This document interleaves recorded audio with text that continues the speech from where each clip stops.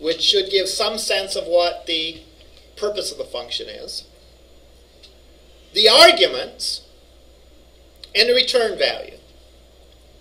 A well-written function, that'll be all you'll need to know about it.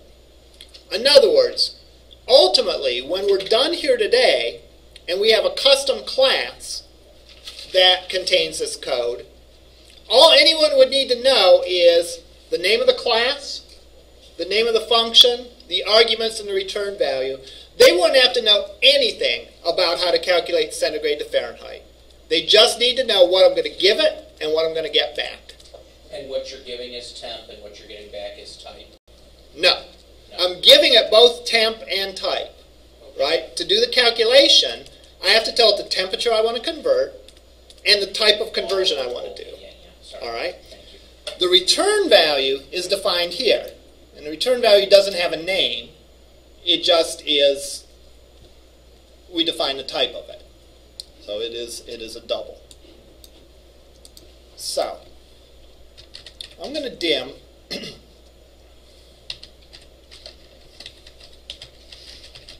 going to return a variable for that return value. And I'm going to copy this code in here.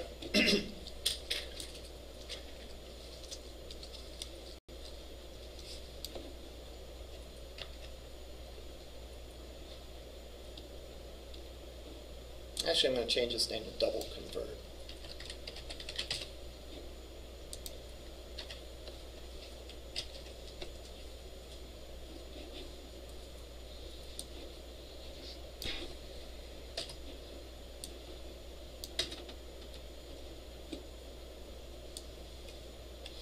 Now, I need to change this function a little bit because this function still has carryovers from where it was before.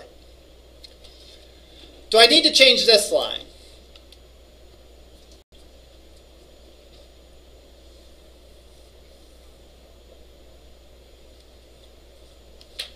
No. We have a vote for no. Do we have a vote for yes? Yes. Okay. Why do we have to change this line? The arg type. it's Right. now arg type string. Yeah. We have to change this because the whole goal of putting this in a function is so that it doesn't depend on the, the name of stuff on the page. And if we chose, for example, to replace the drop down with radio buttons, all right, we should be able to do that without touching this function.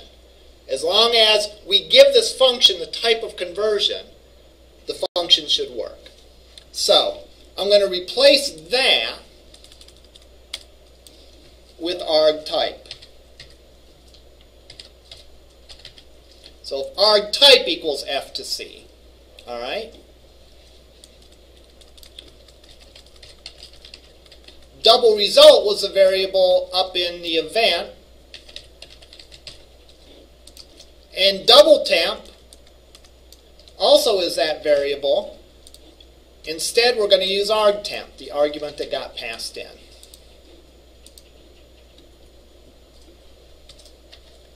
Now, am I going to put that double convert, which is our answer, am I going to put that in the label? No. Why not? Then you'd be tied back to the page. Because then I'd be tied back to the page, right? So I don't want to say label results dot text equals something because then this function would only work if I wanted to put those results in the label called label results. The whole point of this exercise is to make it reusable. So what I want to do instead is I want to return the answer to whoever called it. Let whoever called this function worry about where it's going to put the results. You know, there's responsibilities here. The calling function, whoever calls this code, is responsible for gathering all the inputs, wherever they may be coming from. Maybe converting data. We might have to convert data, convert the type of data. Then call the function and supply the arguments. All right? Then it's responsible for taking the results, formatting it, and displaying it on the page. So, this function is ready to roll. Notice this function doesn't refer to anything on the page. This function is, to use the term we, we used last time, is a black box. We give it something, we get back something, everything else is self-contained. All right, this doesn't like peek and look to see something on the page or anything like that. Now we have to call that function.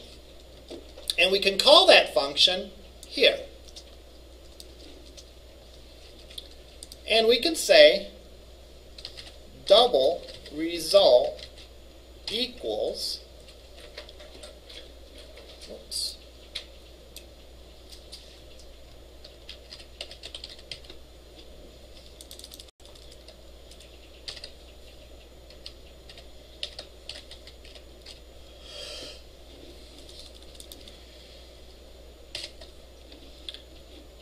So now the function is doing the calculation, so we don't have to do this calculation here. Nor do we have to do it here.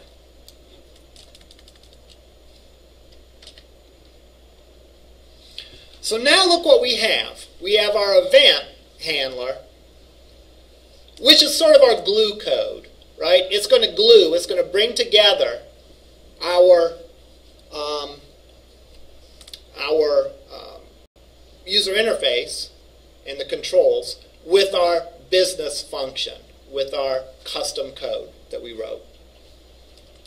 So, that event handler, what it does is if the page is valid, it grabs the temperature from the text box and converts it. It converts it because this function needs a double, right? That function needs a double. So it needs to convert that text temperature to a double. We then call the function. How do we call the function? We give the name of the function and we give where the data is coming from for this function.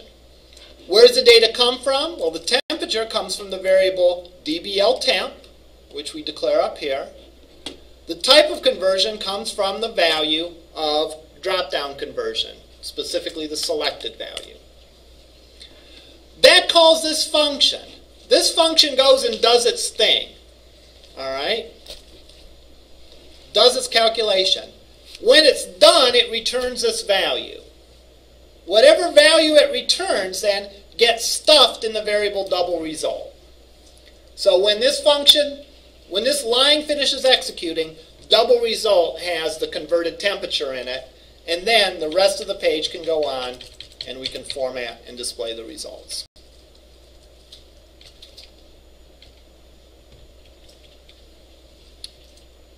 Let's run this to make sure it works. Then let's run it through debugger so that we can sort of x-ray in and watch every step of the process. So, I'll run this. Just want to make sure that it works. And I'll put in 52 or 53 and we'll convert centigrade to Fahrenheit. Click convert. It tells me 53 centigrade is 127.4 Fahrenheit. So, um, I would do the math to make sure that that conversion works, but I'm pretty confident that's correct. So, um, our code still works. Now let's run this through debugger. All right, I'm going to set a breakpoint here. Oops which means that when that line of code is executed, we're going to like x-ray the code so that we can follow through an instruction at a time and check the values of variables. So, let's go and debug this. So I'll type in 53 again and say I want to convert centigrade to Fahrenheit. When I click convert, all right, it's showing me now it's executing that instruction. When it points to the instruction, it's about to execute it. It hasn't executed it yet. That's important to know because, you know, in an assignment statement, the variable won't have the value until after the instruction is done. So, is valid. Is this valid going to be true or false? What do you think? True. It's going to be true. Why do you say it's going to be true? Because it's saying it's valid, so it would have to be true. Because it wouldn't, it wouldn't give the, in- it wouldn't give the input from the text boxes if it wasn't valid, if it It's didn't the go right through the term. validators. It's not a Right? string. Or, Okay? You're all kind of right.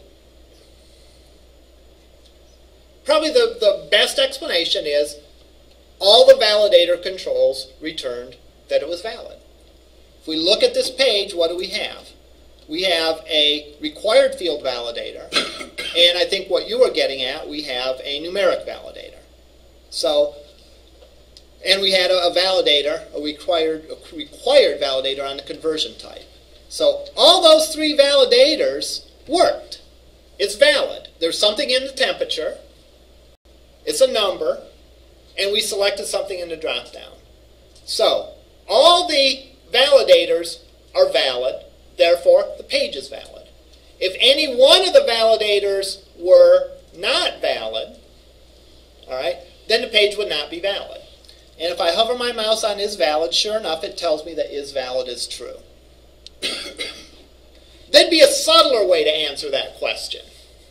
All right? The subtler way to answer that question is I know it's valid because I have client-side scripting enabled, right? I'm not suppressing my JavaScript through the browser. And if the page wasn't valid, then it wouldn't have submitted the page because the client-side validation would have caught it. So if I if you said the mere fact that this line is being executed and you have client-side scripting uh, enabled tells me that it must be valid because if it wasn't valid, it wouldn't have made it this far, and that that's that would be a true statement as well. All right, so let's step through this process. All right, I hit F11. I'm now looking at this instruction, and temp text has a value of 53 as a string. Unfortunately, I don't think I can resize that, but you have to take my word for it. So it's going to convert 53 into a double and put that put that answer in double temp. So now when we're done, double temp has a value of 53.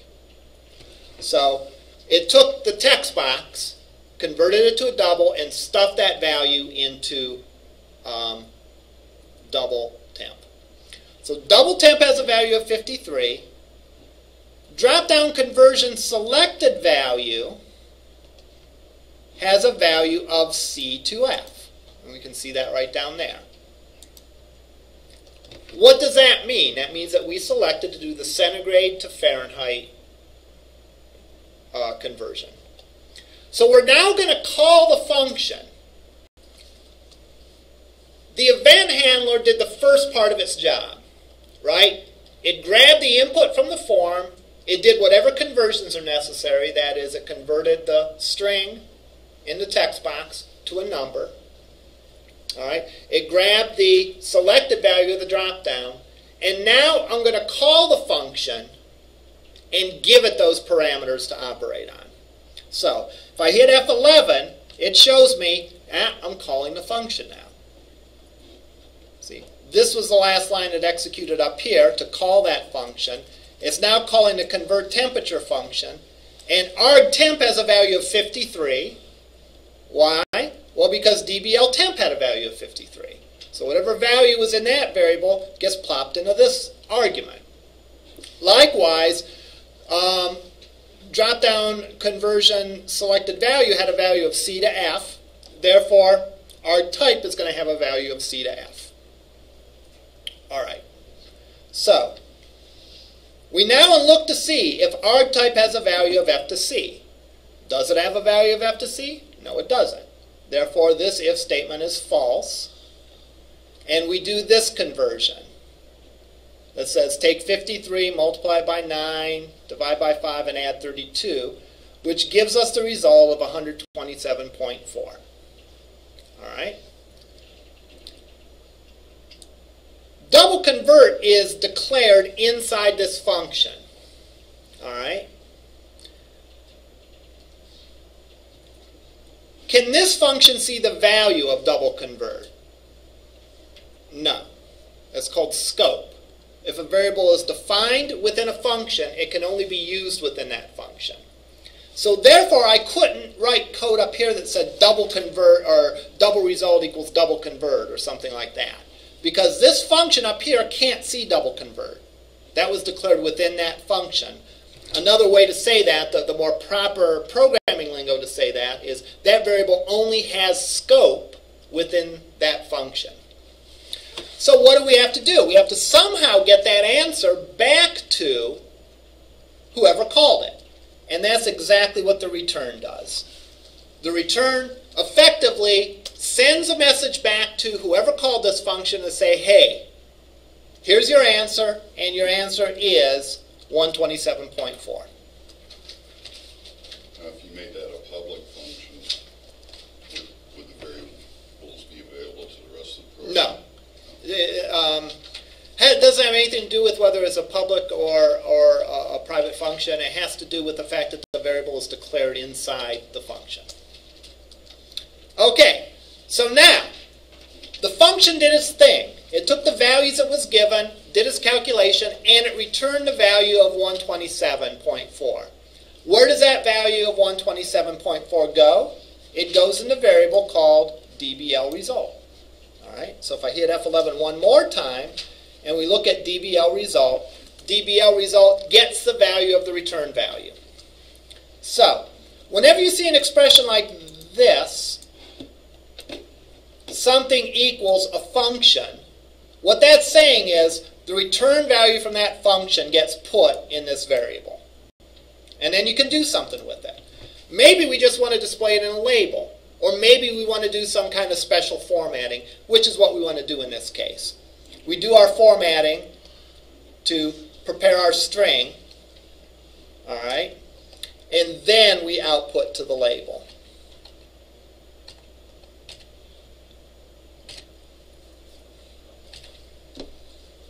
And we have that result.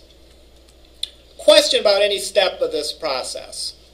Yes. Um, oh, I'm sorry, next you're gonna break it into its own separate file, right? Next, we're going to create a class for it, correct? Because what we did is we sort of loosened it a little bit. You know, it's like the old pickle jar.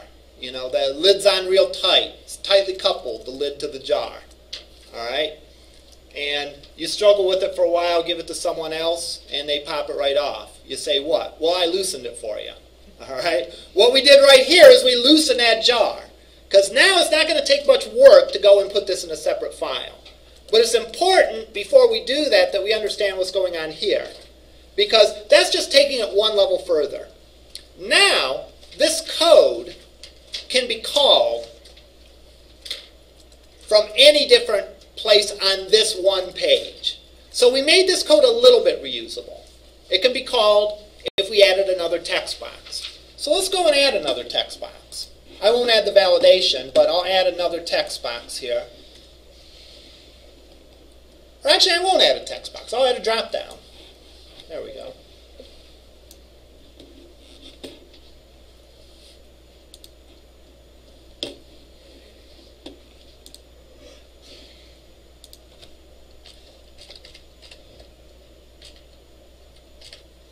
Let's add a drop down here.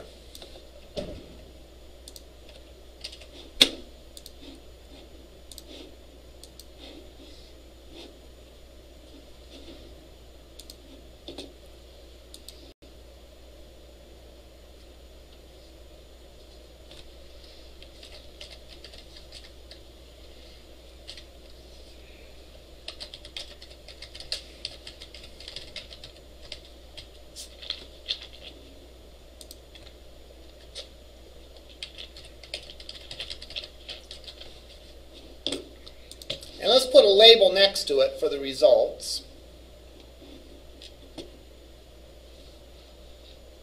Or let's live it up, and we'll put a text box for the results. Yeah. We're, we're living now.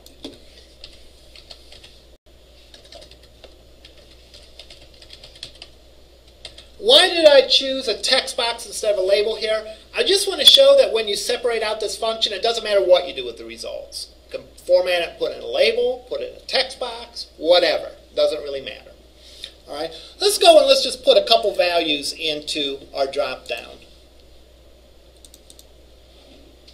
Um, I don't want to do that.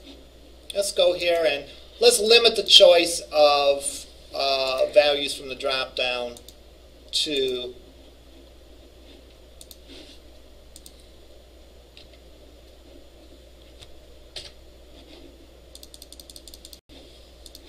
we'll do maybe two through however many values I have there.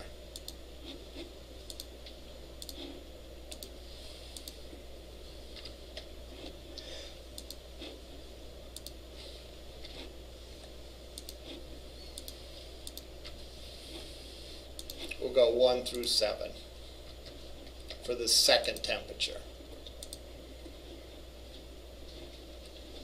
All right? So,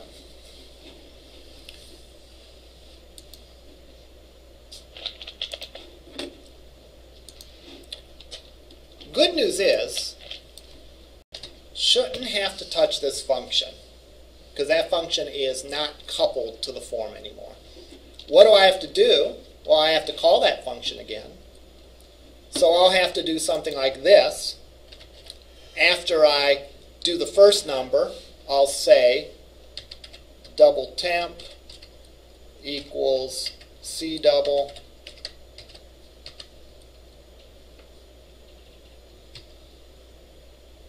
what did I call that drop down? List one.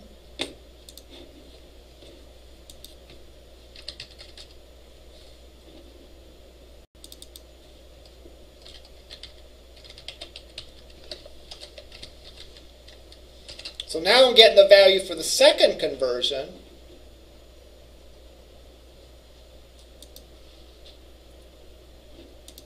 Noel. Yeah, thank you.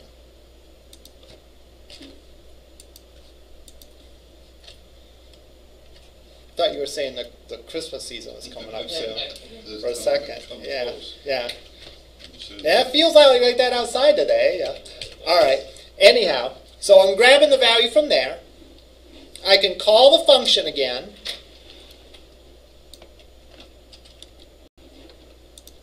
This time I'm going to give it the value from the drop down as the temperature, and I'm still going to do the conversion type.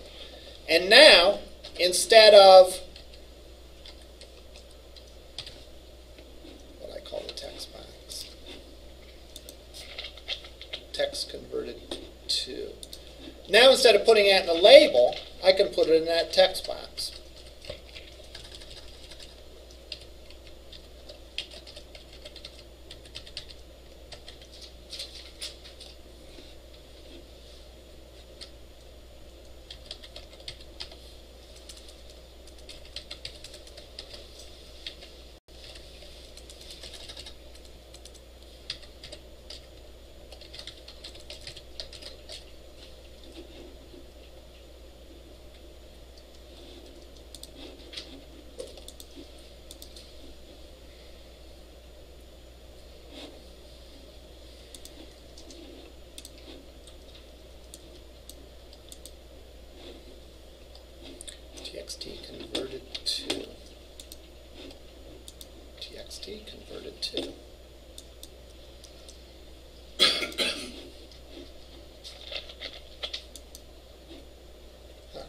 We saw that before right where we got an error until we went and saved it. Um, that's odd. I never experienced that before. Usually it does those things more seamlessly. But anyhow all right. So now when we run this I can do two temperatures at once. So I can say, give me 32 degrees and 4 degrees, convert from Fahrenheit to centigrade.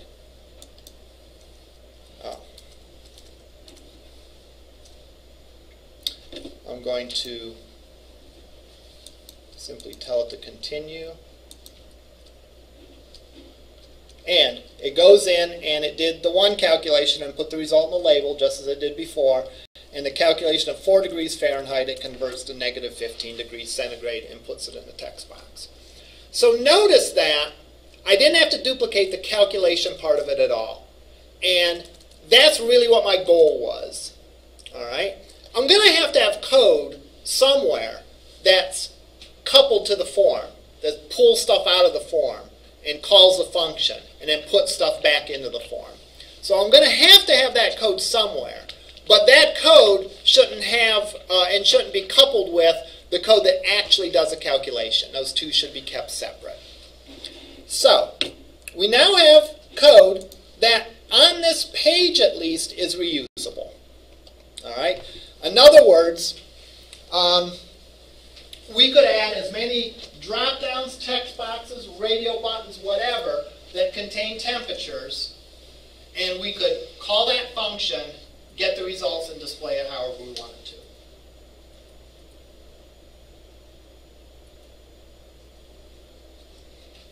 So we made our first big leap in reusability. This code is not, and by this code I mean the quote business logic, by calculation, is not coupled to the user interface at all. It doesn't refer to anything on the page, doesn't get the values from anything on the page. Everything it needs to do its thing gets passed as an argument. All right? It then does its thing, does its calculation, and then returns an answer. All right? Now, the limitation of this is this will only work on this page. If I were to create another page with a text box or whatever, I'd still have to duplicate it. So we're not all the way there yet, right? But we've made a big jump. Now we're going to remove the, the, the lid from the pickle jar because we did the hard part. That part there was a hard part, all right? The easy part is going to be to put it in its own file. All right? So, what do we do? We go up here and File, New. We stop debugging. Let me take that breakpoint out. We go up to File, New, File, and we choose Class. We want to create a class. What is a class? A class is essentially a custom class that we're creating for some reason. And the reason we're doing it here is to sort of capture or encapsulate our business rules. All right? So that everything about temperature conversion that would ever want will be in this one place. In fact, we could make a giant conversion class that did any sort of converting measurements between kilometer and miles and feet and centimeters and anything that you'd want to do. We could create functions in this class. So we could have more than one function in this class. And ideally, it would have everything that you need to know about doing these sorts of conversions. All right, so any program that needed to do a conversion could use this class. I'm going to give it a name. I'm not going to keep the name as class 1. I'm going to give a name of conversion.